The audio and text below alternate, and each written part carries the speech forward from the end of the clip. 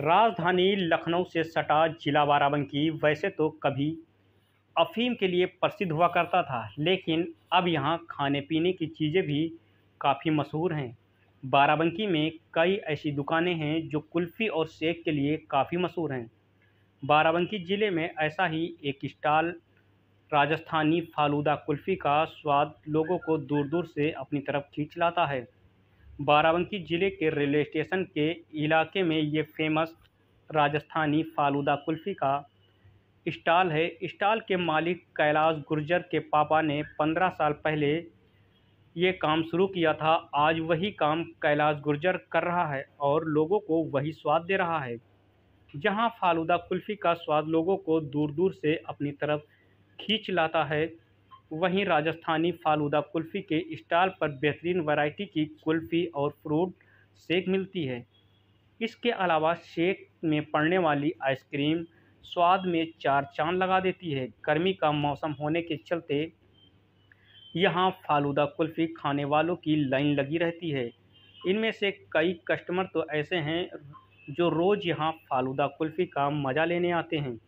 Stall के मालिक कैलाश गुर्जर ने बताया कि वह अपने कस्टमर के लिए साफ़ सफ़ाई का सबसे ज़्यादा ध्यान रखते हैं। वह फालूदा कुल्फ़ी एकदम तरोताज़ा दूध से बनाते हैं। इसके अलावा उसमें आइसक्रीम, चेरी और कई तरह के फ्लेवर भी डालते हैं। इसके अलावा फालूदा कुल्फ़ी में पड़ने वाली ड्राई फ्रूट और रुआवज़ा भी कस्टमर को काफ़ी मज़े देता है।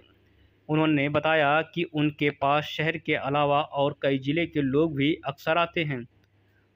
वहीं फालूदा कुल्फ़ी का मज़ा लेने वाले ग्राहकों ने बताया कि वह अक्सर यहाँ आते हैं। उनको यहाँ फालूदा कुल्फ़ी का स्वाद काफ़ी पसंद आता है और से अच्छा बनाते हैं और इनकी जो कुल्फ़ी का स्वाद है, वो भी अलग है। इसलिए हम लोगों को इनकी फालूदा कुल्फ़ी का टेस्ट अच्छा लगता है, इसलिए हम लोग खाने आते हैं। कैलाश गुर्जर। आप कहाँ से बिलोंग करते हैं और ये जो आप कुल्फ़ी बनाते हैं क्या खासियत है और कब से बना रहे हैं? ये कुल्फ़ी आइसक्रीम का काम हमारे मतलब पहले पापा करते थे। जो अब वो बुज़ुर्ग हो तब वो मतलब काम नहीं करते उन्हीं को काम को मतलब हम आगे बढ़ा रहे पापा क्या काम था? पापा का गिरधारी लाल गुर्जर। वो करते अब अब अब मतलब अब हम ही करने लगे काम वो नहीं करते हैं। तो कहाँ से बिलोंग करते हैं आपके पापा और आप? हम राजस्थान से राजस्थान बेलवाड़ा। तो कब कब से यहाँ लगा रहे हैं आप? जी हाँ जी। कब से आप यहाँ इन्हीं यहाँ पहले पापा करते थे तो करीबन पंद्रह बीस साल के आसपास हो गया अब वही काम अब हम ही करने लगे साथ में वापस।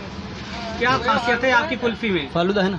कुल्फ़ी में क्या कि जो हमारी एक तो क्वालिटी होती है।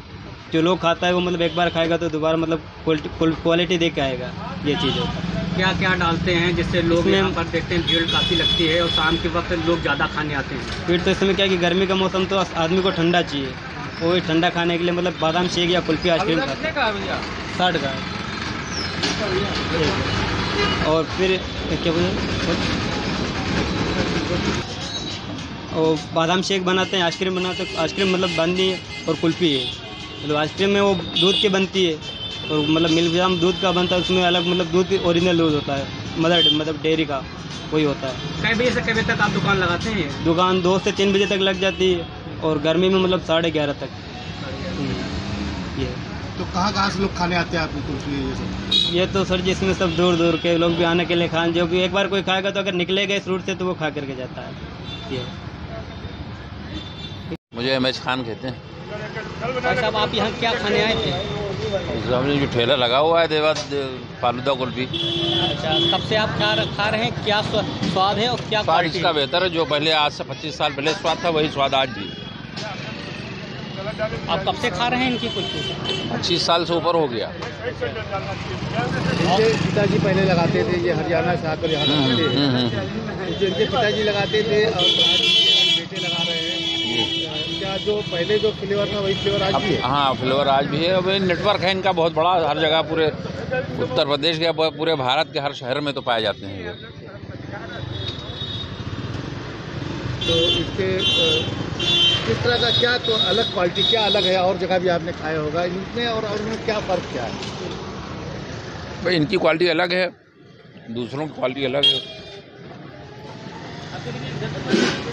मुकेश कुमार है। मुकेश जी आप यहाँ क्या खाने आए थे? सर मैं यहाँ फालूदा कुल्फी खाने आया अच्छा इनकी फालूदा कुल्फ़ी में क्या ऐसी क्वालिटी है जो लोग यहाँ पर खाने आते हैं और काफ़ी भीड़ लगती है? सर ये काफ़ी प्यार से और बढ़िया तरीके से देते हैं और काफ़ी अच्छी क्वालिटी की है। मैं इनके यहाँ से एक साल हो गया खाते हुए।